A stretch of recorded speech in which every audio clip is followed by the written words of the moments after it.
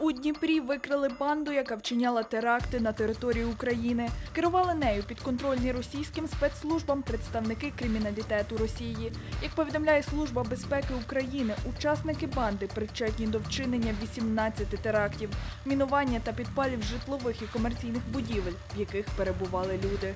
Під час обшуку у бандитів вилучили вогнепальну зброю, набої, гранати, а також гроші понад 800 тисяч гривень. У Києві підірвали банкомат. План злочину зловмисники ретельно продумали. Спочатку зафарбували камери відеоспостереження. Після цього підірвали сам банкомат, забрали касети з готівкою та втекли. Повідомляють у поліції.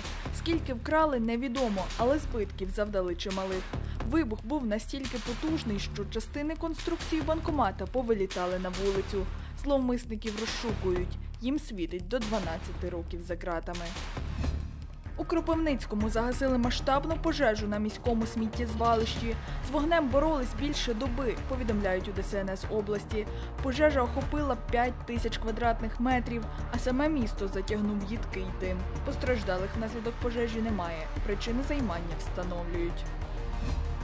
А у селі Лукавці на Буковині дотла вигоріла церква, якій було понад 120 років, повідомили у районній держадміністрації. Церква мала дерев'яні перекриття, тому вогонь поширився дуже швидко. Боролись з полум'ям три години. Пожежники не допустили поширення вогню на трапезну та дзвіницю, але врятувати саму церкву не вдалося. Чому сталася пожежа, з'ясовують.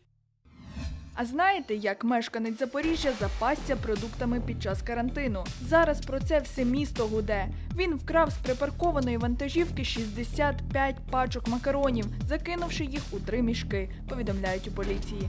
Крадія затримали правоохоронці. Він повідомив, що вкрав продукти для власної наживи. Захотілось пива на карантині, але виходити з дому не хочеться. Рішення є. 93-річна американка зробила знімок, на якому вона тримає плакат з написом, що їй потрібно більше пива. При цьому тримала в руках бляшанку напою. Фото підірвало мережу, і компанія-виробник доставила пенсіонерці 150 бляшанок хмільного. Пенсіонерка випиває одну на ніч. Каже, що це корисно. Тепер запасів у неї вдосталь, але алкоголем зловживати не варто.